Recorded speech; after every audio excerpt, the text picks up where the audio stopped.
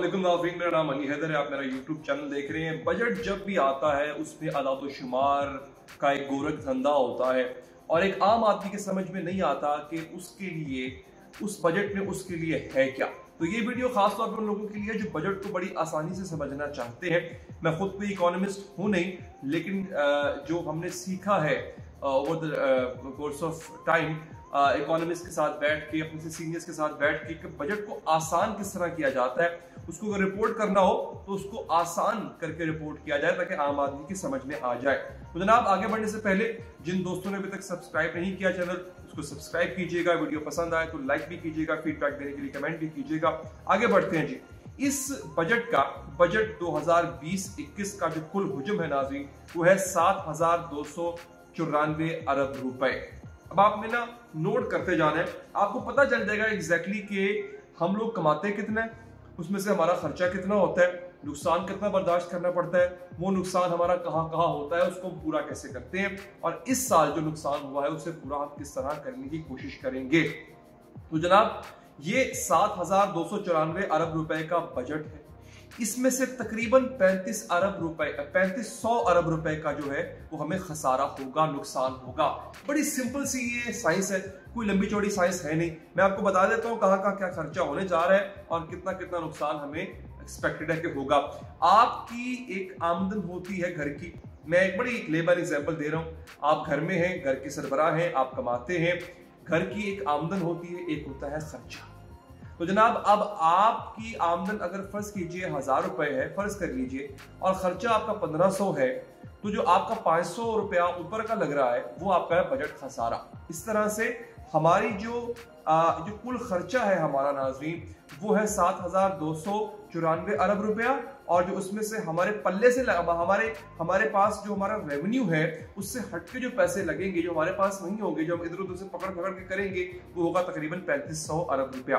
अच्छा इसमें जो अच्छी बात है इस बजट की मैं पहले वो बता देता हूँ आपको। अच्छी बात यह है जी कि कोरोना से लड़ने के लिए जो सामान हमें चाहिए था हमने इस बजट में से जो उस पर इम्पोर्ट ड्यूटी थी, वो खत्म कर दी। बहुत अच्छी बात है। कोरोना एक क्राइसिस है और मैं समझता हूँ मौजूदा हुकूमत का बड़ा अच्छा इकदाम है कि उन्होंने इसके लिए जो सामान चाहिए होता है हमें मास्क हो गए वेंटिलेटर्स हो गए, वो जो बुखार चेक करने वाली मशीन और कई ऐसी चीज़ें हैं जो कि अस्पतालों में चाहिए होती हैं, उस पर से इम्पोर्ट ड्यूटी को बिल्कुल ख़त्म कर दिया है। उसको मजीद सस्ता करने की कोशिश की गई है। इसके बाद जनाब, एहसास प्रोग्राम बड़ा अच्छा प्रोग्राम है।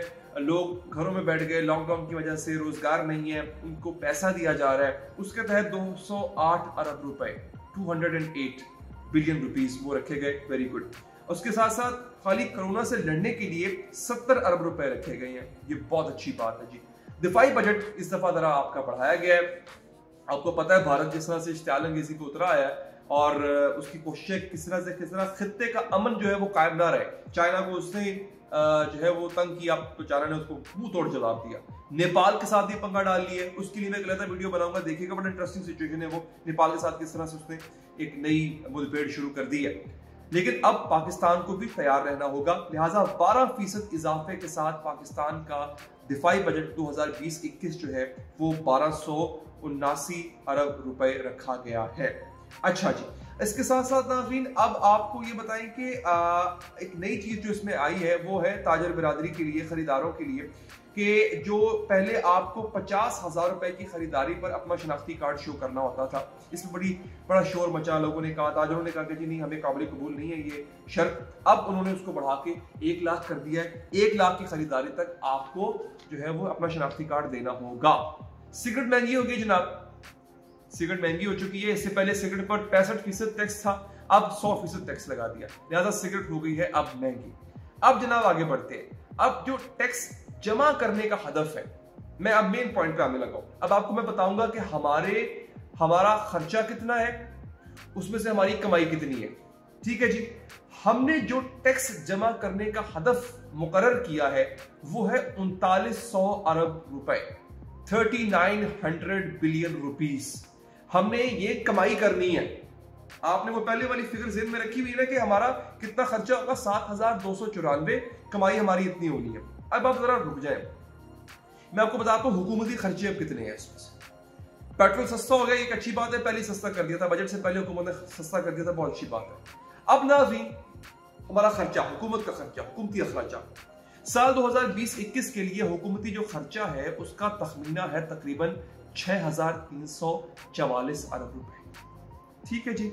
इसमें अब आपको बताते हैं कि हमने कर्ज का जो सूद हमने जो देना है कर्ज का, वो कितना देना है? कर्ज की अदायगियाँ किस तरह करनी है? आपको बता दूँगा हमारा जो बजट होता है ना, उसका एक अच्छा खासा पोर्शन उन कर्ज के सूद की अदायगियों में चला जाता है। अगर हम पे इतना कर्जा ना होता तो हम कभी भी बजट खसारे में ना जाते। तो ये अच्छा खासा जो हमारी जेब से, आपकी जेब से, हमारे टैक्सों का पैसा जो निकल जाता है, कर्ज की असल की अदायगी में नहीं, कर्ज की सूद की अदायगी में निकल जाता है। अरबों रुपया। खैर जनाब तो अब मैं आपको बताता हूँ कि जो कर्जे के पैसे हैं, ये आपने किस किस को देने हैं और कहाँ कहाँ देने हैं। नाजरीन टोटल जो रकम है जो आपने कर्जे की सूद की अदायगी में अदा करनी है, इस साल वो है दो हज़ार नौ सौ छियालीस अरब रुपए। ठीक है जी 2,946 अरब रुपए में से 2,631 अरब रुपए वो हैं जो आपने मकामी कर्जों की अदायगियों में अदा करने हैं। यानी जो मकामी बैंकों से हमने कर्जा हुकूमत ने लिया हुआ है उसकी अदायगी में तकरीबन 2,631 अरब रुपए चले जाएँगे। बकिया जो 315 अरब रुपए हैं वो आपके जाएँगे बैरूनी कर्जों की अदायगी में। आगे जनाब इसके बाद 70 अरब रुपए वो आपके, बल्कि माजरत के साथ 470 अरब रुपए। अच्छी खासी अमाउंट है। 470 अरब रुपए ये आपके पेंशन की अदायगी में जाएँगे। एक तो ये खर्चा हो गया। अब सुनते जाए कितने खर्चे हैं। उसके बाद डिफेंस के लिए मैंने आपको पहले बता दिया था, बारह अरब रुपए जो है वो रखे गए। ग्रांट्स और ट्रांसफर्स की मद में नाजरी जो ग्रांट्स दी जाती हैं, सूबों को भी दी जाती हैं, और दीगर शोबों को भी, इनमें 904 अरब रुपए लग जाएँगे आपके। अच्छा खासा चंक तो यहाँ पर भी निकल गया आपका। फिर सब्सिडीज देनी है। उस साल भर की सब्सिडीज के लिए 209 अरब रुपए रखे गए। फिर जो सिविल हुकूमत का निज़ाम चलना होता है जो आपकी ब्यूरोक्रेसी जो आपका, आपकी जो सेक्रेटेरिएट चल रहे होते हैं सूबों में और वफाक में, उसके लिए जनाब रखा गया है चार सौ पचहत्तर अरब रुपया। वो दरकार होंगे, लगेंगे इतने पैसे। इसमें कोई इसमें ज़्यादा ही हो सकते, कम नहीं होते होते।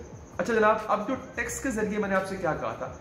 टैक्स के ज़रिए हमने जो आमदन का तखमीना लगाया है, वो है तकरीबन तीन हज़ार नौ सौ अरब रुपए से लेके मतलब between thirty seven hundred and thirty nine hundred हम एक फिगर ले लेते हैं थर्टी एट हंड्रेड यानी कि अड़तीस अरब रुपए हमने तखमीना लगा लिया कि कितना हम टैक्स की मद में कमा लेंगे। तो लिहाजा नाजन जैसा कि मैंने आपसे पहले कहा था कि हमारा जो खर्चा है, वो है सात हज़ार दो सौ चौरानवे अरब रुपया। उसमें से जो हमने कमाई करनी है वो है तकरीबन अड़तीस सौ अरब रुपए। तो जो हमें खसारा पड़ेगा वो तकरीबन पैंतीस सौ अरब रुपए का खसारा पड़ेगा। अब ये खसारा हमने कहाँ से पूरा करना है नाजरीन? ये खसारा हम पूरा करेंगे एक दफ़ा फिर कर्जे लेंगे एक दफ़ा फिर आईएमएफ के पास जाएँगे एक दफ़ा फिर लोकल बैंक्स जो हैं उनसे हम कर्ज उठाएँगे। तो नाजरीन ये तमाम की तमाम चीज़ें जो है एक एक, एक सर्कल एक ऐसे गोल दायरे में घूमती रहेंगी जिससे निकलना पता नहीं कब हमें नसीब होगा। हमने किया ये कि हमने हमारे जो कर्जे बढ़े हैं, और जो हमारी जो, हमारा जो डेफिसिट बढ़ गया है, क्योंकि हमने जो कर्जों की सूद की अदायगी में पेमेंट करनी होती है, वो ज़्यादा होती है। अच्छा वो ज़्यादा हो क्यों गई? इमरान खान साहब के दौर में क्यों ज़्यादा हो गई?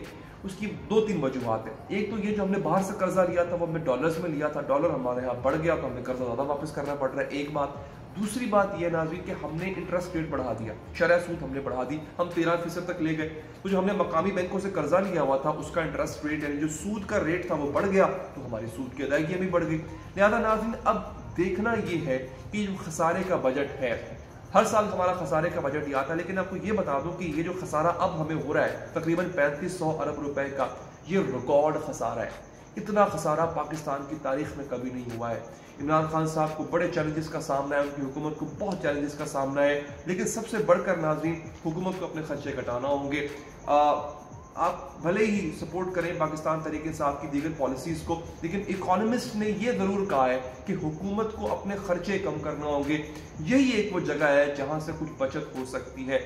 वो इदारे जो लॉस में जा रहे हैं पी आई ए है स्टील मिल्स है रेलवे भी काफ़ी हद तक आप कह लें, और ऐसे कुछ इदारे हैं उनको या तो प्राइवेटाइज किया जाए, या फिर उनकी मैनेजमेंट ऐसी तब्दील की जाए कि वो प्रॉफिट में आए, क्योंकि ये इदारे भी अच्छा खासा आपका एक हिस्सा बजट का ले जाते हैं। फिर एक और बहस है कि आपका जो गर्दशी कर्जा है सर्कुलर डेट जो है, वो 2000 अरब तक पहुँच गया है, उसकी अदायगी अभी तक हो नहीं रही है। ये टेक्निकल चीज़ें। मैंने आपसे वादा किया था कि मैं आपको आसान लफ्ज़ों में आज का बजट जो है, इस साल का 2020-21 का बजट समझाऊँगा। तो आप आसान लफ्ज़ों में ये है, साढ़े सात हज़ार के करीब हमारा खर्चा होगा। आमदन हमारी तकरीबन कुछ चार हज़ार के करीब है। चार हज़ार अरब की बात कर रहा हूँ कि करीब है। ऊपर वाले पैसे कहाँ से आने हैं? ये हर दफ़ा एक सवाल होता है। हर दफ़ा हमें समझ नहीं आती कि हमने क्या करना है। Over the course of time जो है, हम किसी से ये मांगेंगे, किसी दोस्त से कहेंगे, दोस्त मुल्क से कहेंगे, हमें कुछ पैसे उधार दे दिए आई से कुछ उधार मांगेंगे लोकल बैंकों से कर्जा मांगेंगे, यूँ सिलसिला चलता रहेगा। और नाजिन अगर आपको वीडियो पसंद आई हो, समझ आ गया हो कि ये असल में बजट है क्या और इसका माखिस क्या है तो कमेंट कीजिएगा फीडबैक देने के लिए वीडियो लाइक भी कीजिएगा नाजरीन और सब्सक्राइब कीजिए। साथ में जो बेल का आइकन है, उसको प्रेस करिए आपको पता चलेगा अगली वीडियो कब आने वाली है। दीजिए इजाज़त नाजरीन। अल्लाह के बाद